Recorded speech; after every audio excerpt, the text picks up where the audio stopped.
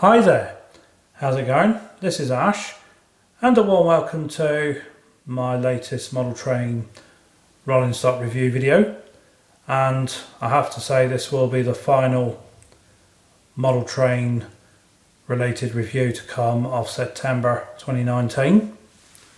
This one I've been after for a while as I have been inspired to get this when I saw it in a review by Sam's Trains and it is a very nice cracking model and I was hoping to pick up one of these from the Belfast Model Railway exhibition back in August although sadly I couldn't find one of those hence the reasons why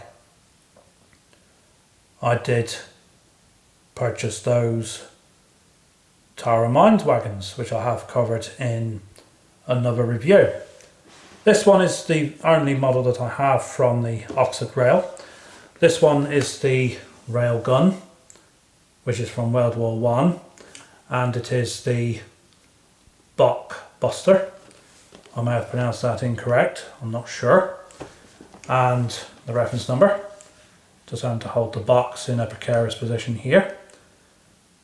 The reference number is OR76 B00M03 Railgun World War One, which is WW1 Bock Buster. And I'd assume this would have been used by the German forces in World War One for artillery. And there is quite a nice amount of weight in this model, as it is, I'd say, around a kilogram and the model is made of metal from my understanding although I've not yet unpacked this. So this is the first time I've actually unpacked we'll be unpacking this model to check it over. So hopefully there will be no defects. And just to keep my fingers crossed. The prices for these can vary between 51 and 65 pounds although I paid £60 for this including free first class delivery. So I haven't blanked out the price on this. This is how it actually arrived to me when I purchased it. So that's just as a guide there for how much these models will actually cost if you are interested in buying one of these for yourselves. So what I'm going to do just to keep the video interesting I'm going to pause the video whilst I remove all of the packaging and I will return once I've placed the model onto the turntable as I will be doing a 360 degree rotation with this model and I will make sure that it will not roll off the table. I've now managed to remove all of the packaging and what a cracking model this is. And besides being a cracking model, it is absolutely huge. And Oxford Rail do supply you with a cosmetic brake pipe. Just making sure that the camera is picking this up without the glare from the light in the room reflecting off the bag. So I'm just going to put that to one side now we've covered the accessory.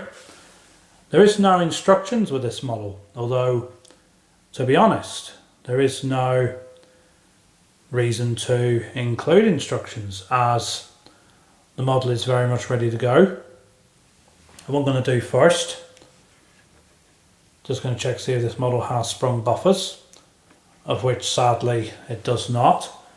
But to be honest, it's not really essential to have sprung buffers on this model.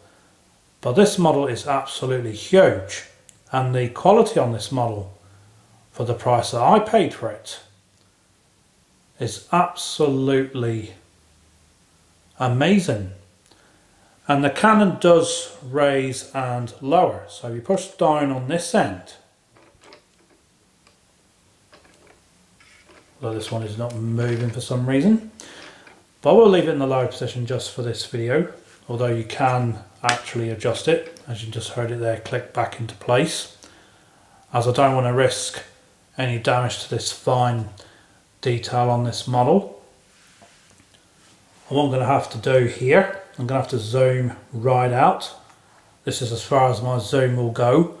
So this model may clip out of the camera area for which I can only apologise for. And you have 8 axles on this side which is 16 wheels and 7 axles on this set of wheels as well of which would make 14 wheels. So that would be a total of 30 wheels that this model would have. And I would imagine that it would be essential for this to have that many wheels for the sheer amount of weight and the force from the recoil from the artillery gun on the model as well. So I think it's time to commence with a rotation on this model shall we?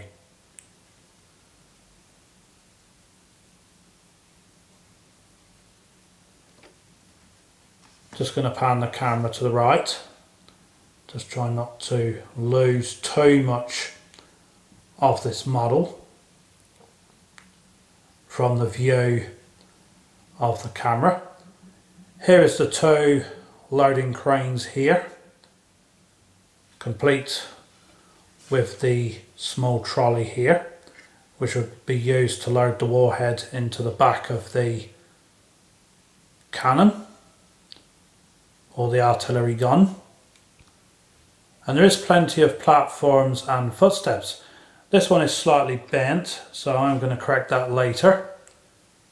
But that's not really a deal breaker, as I can straighten that later on.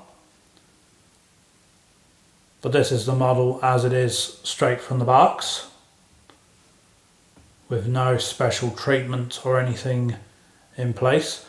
I have had to derail it slightly by leaving these deliberately off the track just to avoid this rolling off the table and crashing onto the floor as I certainly would not want that to happen. But just look at the beautiful detail that this model has. And we've almost finished with the rotation anyways. Just look at that huge barrel on this artillery railgun.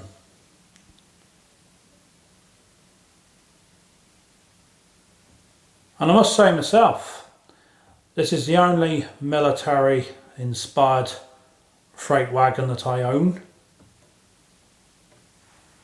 as I do not own any other military themed freight wagons as of yet but the reason I got this one is because of the review that I saw of this from Sam's Trains, which inspired me to get one of these.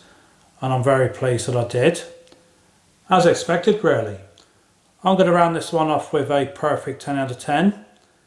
And what I'm going to say here is, expect to see this in a future model train running session once I get some more wagons as that will show how this will perform.